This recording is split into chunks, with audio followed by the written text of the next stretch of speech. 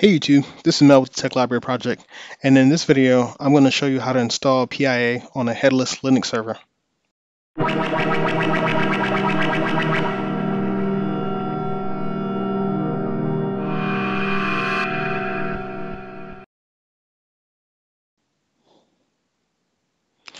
A few weeks ago, I was talking with some friends, and we were wondering how would you install PIA on a Linux server with no GUI graphical user interface. After doing some Googling, I found this uh, GitHub article. The gist of the article basically says you need a Linux server, you need to install OpenVPN, and you need to install Unzip and download the PIA OpenVPN configs. So in this demo, I'm going to show you how to do it, and we'll see if it actually works or not.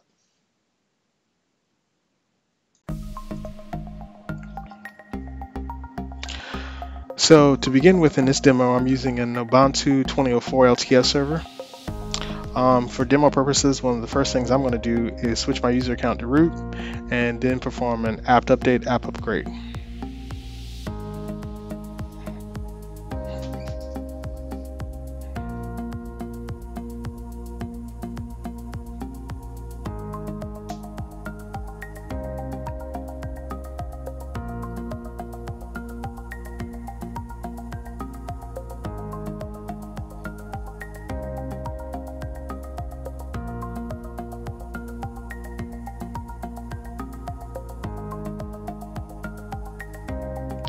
Next thing I'm gonna do was will be download the OpenVPN software and the Unzip software. The reason why we need to download the Unzip software is because eventually we're going to do a wget and pull down the OpenVPN config files from um, PIA, and those come in a compressed format. And we need to use the Unzip software to actually uh, decompress the file to get access to the to, to get access to the config files. Next thing I'm going to do here is uh, we're going to switch to the OpenVPN directory.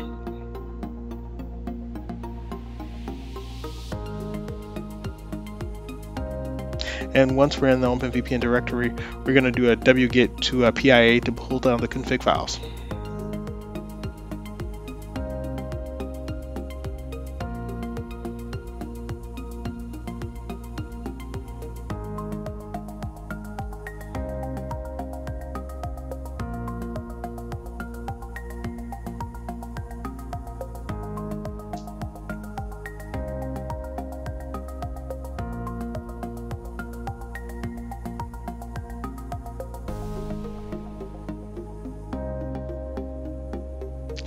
Once we have the config files, we'll use unzip and actually decompress the the OpenVPN file we got from PIA and save it to a new directory called PIA.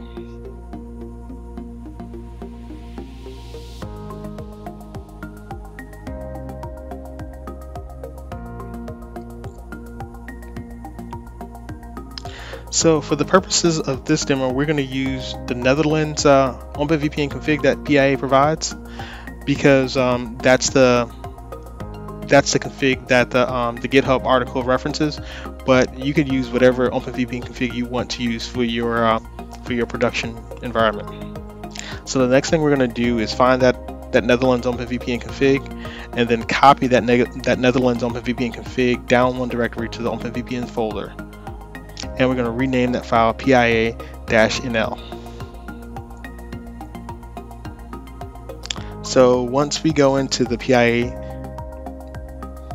next we'll go into the PIA-nl config file.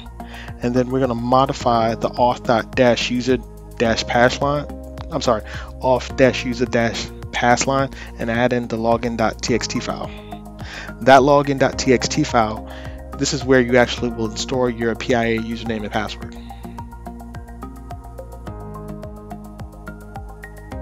So now we just create the the login.txt file and put in your username and password, your PIA username and password.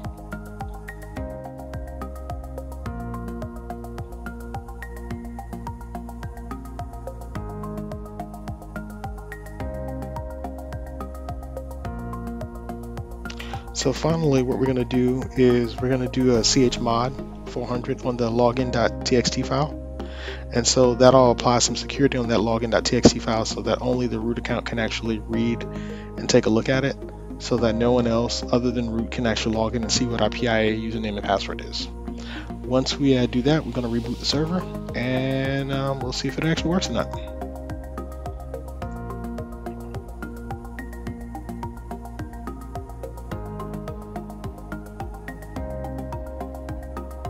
So one of the first things we want to do to see if this is actually working or not is when we log in, we should see a second IP address, a, a, tunnel address. And if we see that tunnel address, then we have an indication that it actually is working. And then the next thing we want to check is to, um, to see what our public IP address is from that server. So as you can see, we do have a tun zero address, which shows us that it's working. And then if we do a curl and then we go to ifconfig.me, this is just an external website that um, tells you what your public IP address could be. Um, as you can see, that public IP address, that is not my public IP address. So that lets me know that everything is working and I can start doing things um, from the server securely over a VPN tunnel. Um, thanks for watching. Um, please like and subscribe. Leave comments if you don't like it. Um, this is a new format that I'm trying here where I'm doing the work ahead of time and then I'm just doing commentary on top of it. So uh, please let me know if you like it. Um, thanks for watching. See you in the next video.